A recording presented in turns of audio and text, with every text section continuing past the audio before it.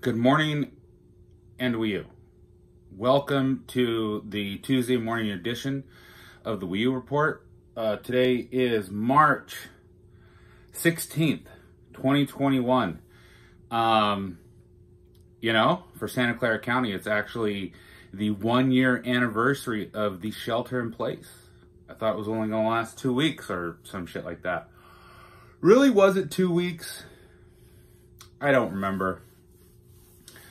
But on that point, uh, we got, I remember it being, you know, around May when it finally really sank in and um, they were extending the shelter, you know, for our own safety, of course, because um, our local governments really cared about us. But, you know, to be honest, uh, California and Santa Clara County were one of the first to really ramp up the stay at home, social distancing, wear a mask, etc., etc. You know, it's just kind of wild to think that. Uh, I remember, so in May when they uh, extended it, I remember talking to my boss at work and, oh yeah, you know, we'll be back in the office by June or July, maybe August, and then you know, just kept going on and on and on to where we are now, a year later. Wii U. So hey, why are we here?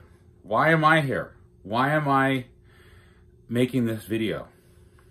Uh, well, it's kind of been a goal to create a podcast, make some videos, talk some shit, um, say something funny, um, express myself, and uh, share my view on the world with you. Uh, think I actually had some notes. So my green book is the answer. Because this is where I put all my ideas. U. Shout out to my homeboy, Crew Jones from RVA, sending me delicious beers from The Answer, The Veil, Triple Crossing, etc. U. So, I'll actually share something I wrote in my idea book. It's not my journal.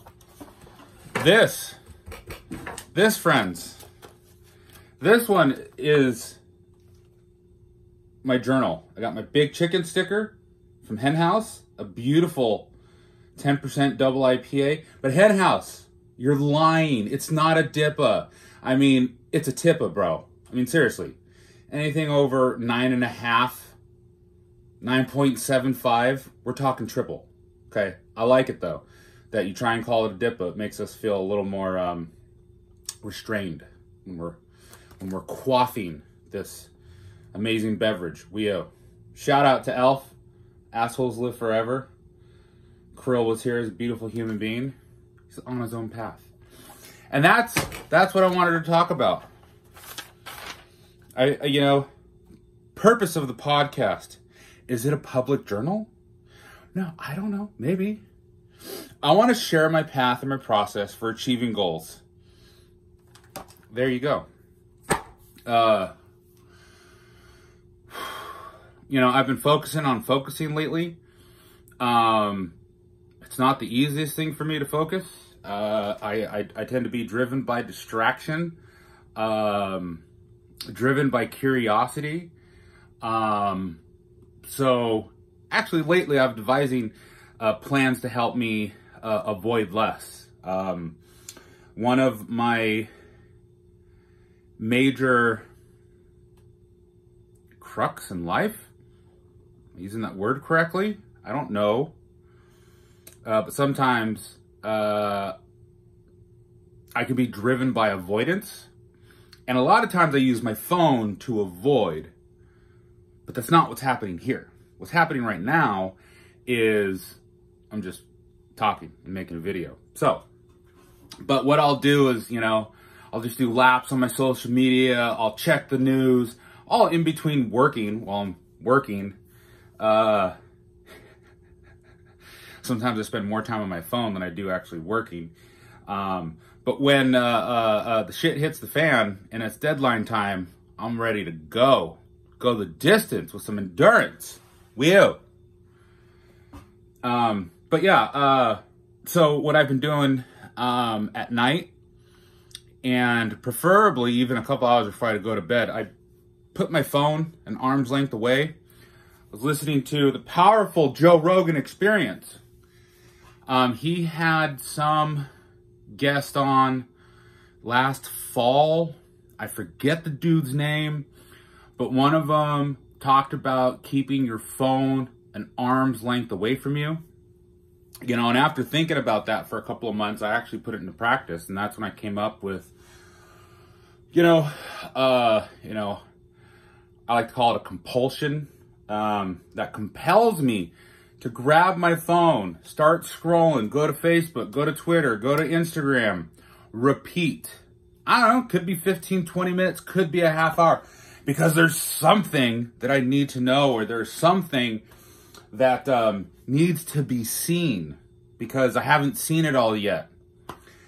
And uh, you know, at first it was it was it was um, it felt great, and then it felt weird, and then my mind uh, kind of was like, "What the fuck, bro?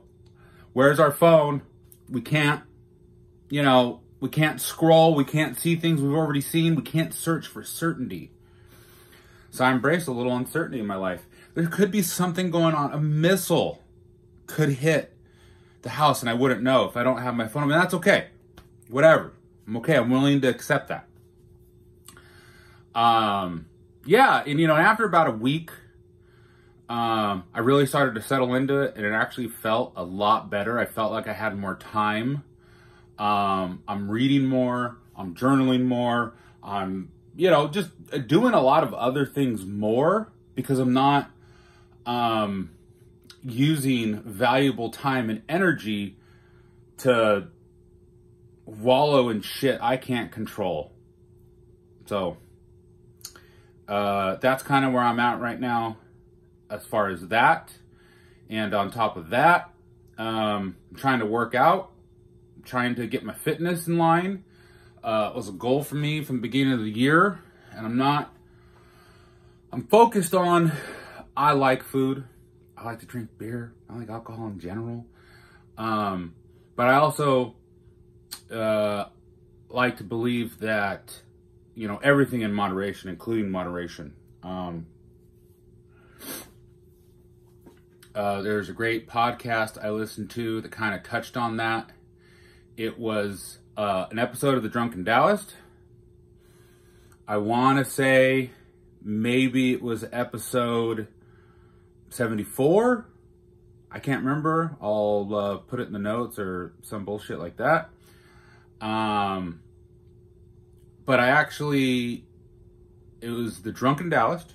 It was with uh, the the middle finger of the gods himself, uh, Daniele Bolelli, and uh, the great and powerful Rich Evers, telling you that uh, corporations are not people and the wonderful and powerful special guest, Robert Subiaga. Uh, that dude's interesting. Flips my mind, really makes me think, um, like his perspective on life. And even, you know, I think that episode came out six years ago, and I listened to it again last year, probably more than once, and I actually got more information out of it than, than any other time I had listened to it. So uh, that particular episode really speaks to me. They talk about philosophy, life, and the life of a 14th century Zen Buddhist monk named Ikkyu. Ikkyu's legit. Um, cared about getting laid and sake and practicing his Zen and not fucking pushing it on anybody else. Sounds like a really, really nice guy. We you. So in any event, that's where I'm at. And I'm in the garage. Uh, the garage, the bar, the gym, uh, the storage area. Um, I like to come out here first thing in the morning um, when I finally take action and get out of bed. Uh, you know, sometimes it takes a little bit of motivation, but typically I kind of wait for the motivation to kick in uh, after I've taken action because um, first thing in the morning, I'm I'm motivated to stay in bed. It's fucking warm. It's comfortable. Got the cats with me. My honey's right next to me. Why would I want to get out of bed? Fucking you know, work. Gotta gotta exercise. Um, like like I said, I'm trying to focus on my fitness, trying to get in shape and uh, lose fat. Uh, I'm not necessarily focused on fat on on weight loss. I want to focus on fat loss because I'm fat. Uh, I weighed in at about 297 and a half this morning, which is actually pretty good. Um, yesterday I kept my calories kind of tight. Uh, I think I consumed 1800 and I burned 500, so net 1300 calories. But the day before, I had a reward day. I had a, I'm gonna enjoy this day. And I had fucking chicken waffles. I had beer at the beautiful Alpha, Alpha Acid Brewing in Belmont, California. I saw Booby and JD the Shady Lady. Some beautiful, wonderful people I haven't seen in a while. With my honey, of course. We were all there. Um, it was pretty tremendous. So I thoroughly enjoyed myself. I even had ice cream at the end of the night. I think I ended up having like 3,700 calories. I didn't burn any, so I had a I had a, a surplus of 1,400 calories, and um, yeah. So I, you know, I wasn't trying to make up for the day before because I was bad. No, I was just like, hey, uh, it's Monday. I'm gonna pull back a little bit you know, I could um, I can try and balance out the day before a little bit, but I'm not. That's not the ultimate goal. But if it happens, then that's cool. Um, you know, one thing about Wii myself, Wii and Brett, uh, we are one and the same. It's like the. Uh, it's kind of like the Holy Trinity, the Wii the Brett, and um, I don't know something else. The universe, Wii Um, you know, I've, I've been watching some some real uh, powerful and uh, dedicated and disciplined videos on weight loss. Uh, dudes that are driven and uh, action masters and they make it happen. They stick to a plan and they get it done. I like that. I like it a lot. I like discipline. Uh, discipline equals freedom. Shout out to Jocko Willink. Um, but also at the same time, I'm really a fan of joy and pleasure. I don't have a fucking problem with it. Um, I just think that it's important to um, knowing when is enough and actually knowing when is enough in, in, in your current state. So, like last night, you know, I had a, a glass of wine uh, Saturday or Sunday all day, I probably had five, five and a half, let's call it five and a half beers. Um, that's pints. Um, let's be honest. Um,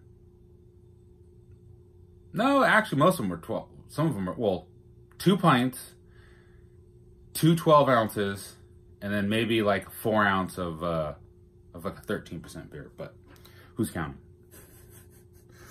But anyway, I'm a big fan of joy and pleasure, and uh, you know, I don't want to.